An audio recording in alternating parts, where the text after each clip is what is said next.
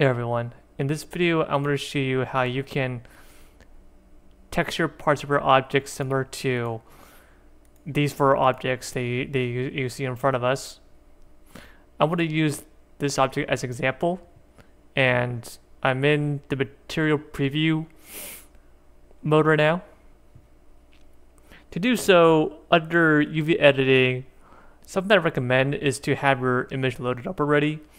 And so, so at the top here where it says browse image to be linked, um, if you haven't loaded already, you would select that, or if not, you would click this other button where you would it would navigate to your through your directory to pick an image that they, they want to load. For this model here,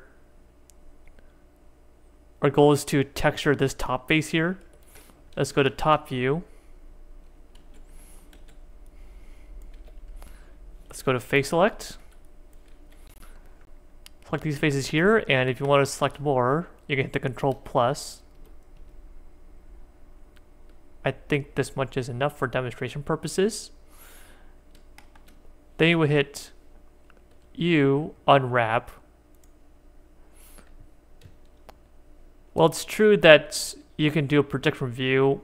I find that UV unwrapping the part that you care about is more reliable. Now next step is let's add a new material.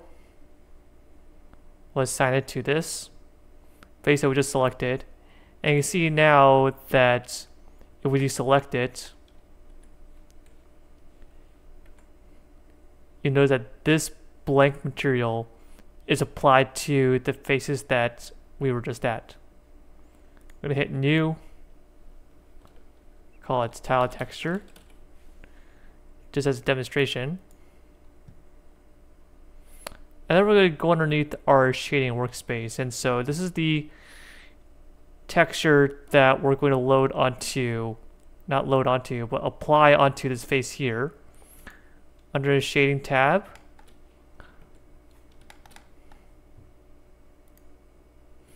hit Shift A, image texture,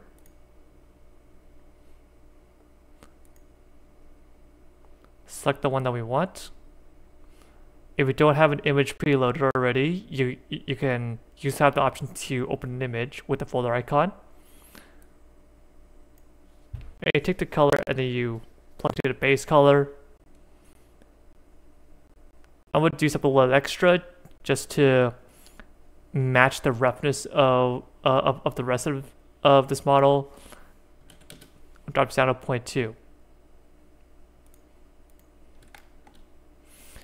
if you don't necessarily like the scale of this, uh, the easiest way is to select your image texture, Control T, and this, and you do need a Node Wrangler add-on enabled by going under Edit, Preferences, and turning on the add-on.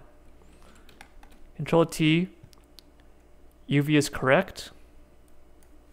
You want to make the texture bigger, I believe you drop the scale, or if you want more of it. Alright, it's the other way around. Um,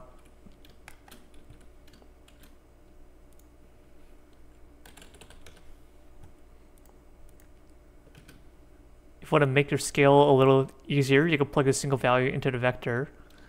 And we'll hold shift and then um, and move this around to our liking.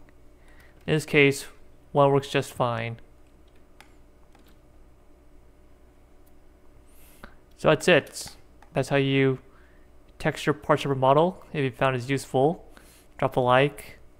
If you want to see something that's that uh, would have been more helpful, let me know in the comments. Thanks again for watching. See you next time.